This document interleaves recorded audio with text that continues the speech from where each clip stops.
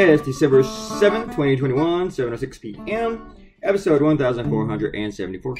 I thought this was, uh, since this video is almost four minutes long, I could play a little guitar I had this idea on, uh, was it Sunday? Yes, I had this idea on Sunday.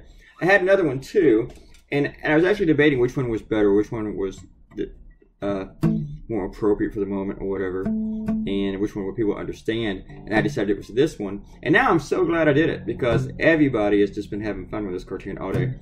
Uh, just not just from the idea and from what the point of the cartoon, they just had fun with, with the artwork and all the little all the little eye candies I put in here. Uh, kind of like the Easter eggs, I guess.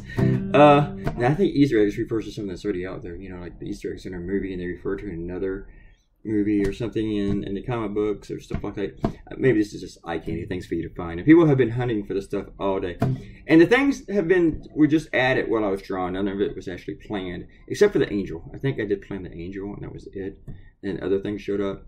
And uh, there are two rats in the cartoon, I'll tell you that. But the first rat, I liked his placement. But then I thought people may not be able to see the rat. And wouldn't it be funny if there was another rat where I put him? So I did that one. Some people have identified things that are not in the cartoon. So, like, how do you, you get that? But that's okay. I'll let you keep thinking it's in there. So I did that. Uh, it's done really well on social media, a lot of comments and everything. The funny thing to this is, like, a lot of times I'll hide stuff in cartoons and people won't ever catch them. But today, uh, it seemed like the stuff that I thought would be the hardest to catch, people caught early on. Within like five minutes, people were tweeting about it, stuff. And I I enjoy that. I, I, have fun when people, when the readers have fun. I like hearing their reactions and stuff. Reading them all. No, anyway. Um, I've only seen like two people do this subject, and I, I saw one person do it like on Saturday night or or Saturday. I don't even point to Saturday. I saw somebody doing it, and I thought, oh god quite frankly, it's terrible. I, I, think he did a horrible job with it, but it was something I was planning on doing, and I was just annoyed that somebody did the subject before I did, even though that doesn't matter. It doesn't matter at all. But I just wanted to be the first one to hit this. Uh, it's kind of like with the, the critical race theory and the school shooting. I think I was the first cartoonist to combine the two, and now like 20 other cartoonists have done the same thing. Nobody's done the same idea. They just all kind of made the same point. And they would have done that even if I had never done it. But I just like to be in the first one. Did I got a few others to do that? Maybe.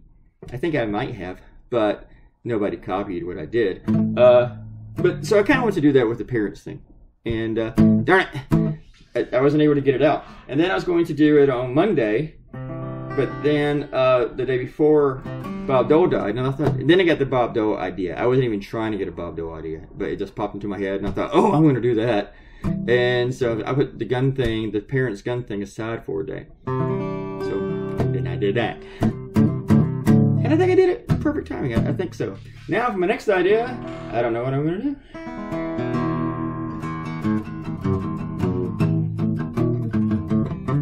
I think I'm a little out of tune with it. Lowy. Everybody, have a great night. See you.